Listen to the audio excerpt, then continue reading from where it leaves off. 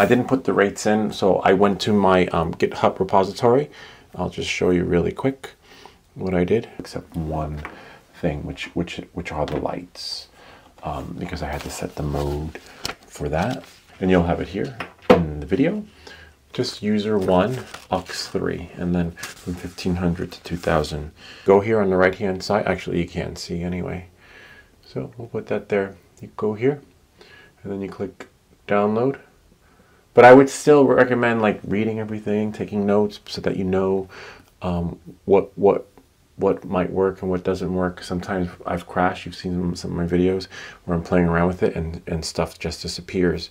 If that happens, you know, it's best to know what to do because if you don't have internet, see there's a fixed solution and you don't know what to fix, then you're pretty much out of luck until you can get to internet. Then we go here, open it, select all. But then, you, you know, you also learn more by um, when you're not just flashing it. So what I'm going to show you is luck. You see um, on here, on the... Uh, here, see how we have here aux3 for there? That's going to disappear when I reflash it uh, with what I just downloaded because we didn't, I don't believe we did the lights in the beginning. You do that, copy and paste it in, everything will work. I'll, do, I'll, I'll, I'll, show you how to add light. So by default, that's how the motors spin in these weird direction.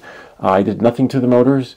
As you saw, I was about to, uh, I was like, you know what? Let's just leave it. So apparently, maybe it's some sort of omnidirectional. I believe BetaFPV had mentioned something in the comments about how these motors spin opposed to the other motors that you your your, your quadcopter has. Uh, opposed to the Cinewhoop, maybe. Uh, if there's a difference in that, share because I don't know. Uh, all I know is that um, they spin differently and um, weirdly, and I they don't. Let's say when you go to the motors chart, it spins nothing um, in the way the motors chart uh, says they should. But just leave it. Somehow it works like the bobber in a sewing machine that just uh, has its magic. All right, so we go here. See there, user one. Oh, it's already there. Okay, so maybe I did add it. So we'll go here, click save. But if it's not, I think it should have been 2000 though. Uh, yeah, so maybe move it a little bit right there. And then now it'll work. Okay, and click save. Because if it's not, if you if your modes aren't in the correct position, it's not going to work. Uh, just to make sure receiver is an SBUS, yes, and we have our what else was there to check ports, which well we know it's working. So I just want to make sure we can close it.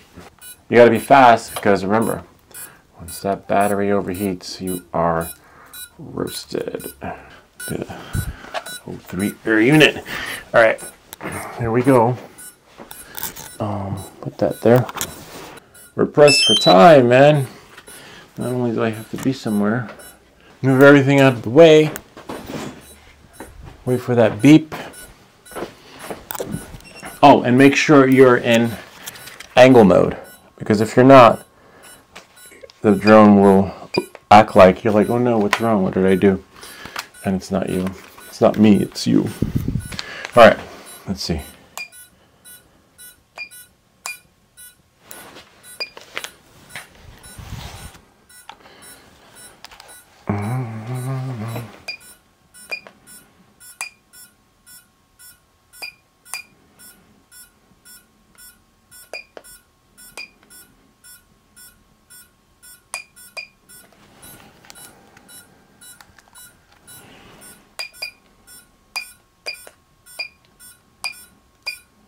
Wow, the temperature is really hot. That's fine. I think the cable's broken.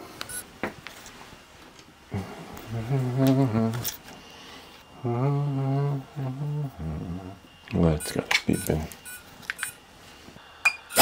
Whoa, messed up. Okay.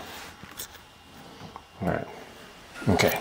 It was the um, cable. So if you get an MSP error, that means your cable's not connected. But now I'm going to shut it off because it's too close. And as you know, I will get your drone up and running. But I don't give flying lessons. All right. Rise up to the occasion in your FPV drone. Get your Part 107 so that you can spend all your money.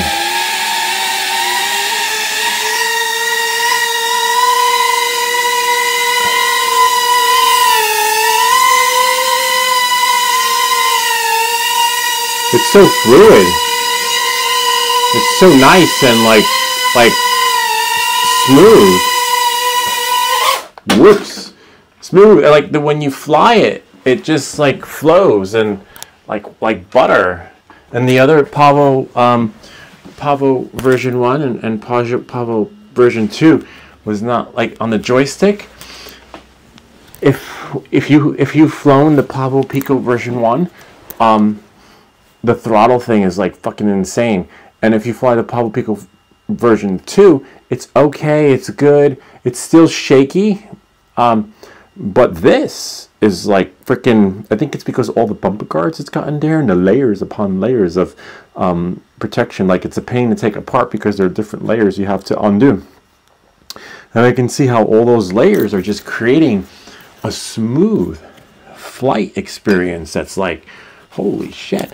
Um, make sure you're in um, angle mode because if you start up in another mode, the drone just goes bonkers. And I, I don't fly in those other modes anyway. But or fly in whatever mode you fly in, um, so it shouldn't matter. But I just love how it. It's phenomenal. Like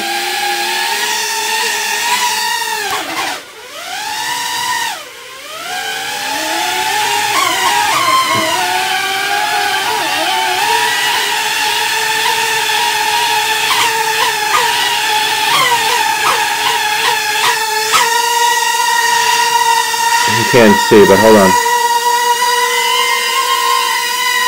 It's just so, it's easy to hover.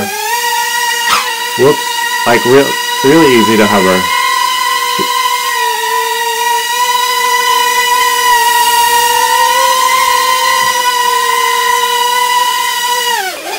Like it's so easy to hover, it's unbelievable.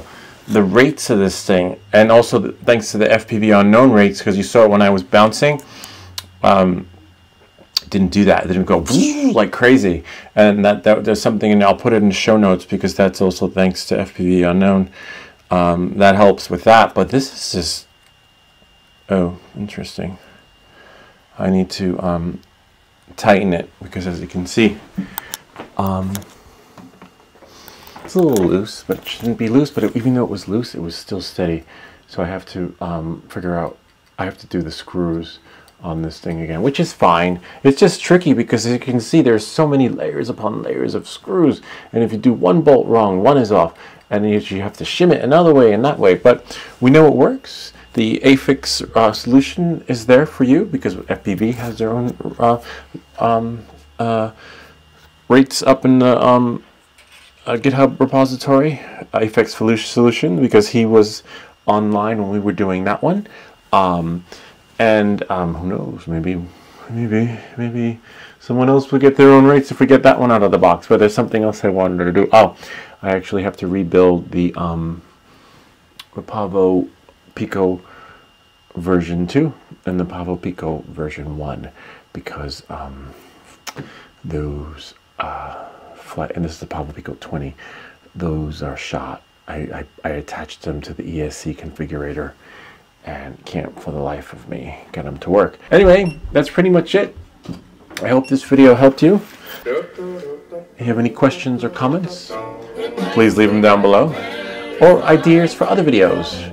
Remember to like and subscribe. And I'll see you all next time.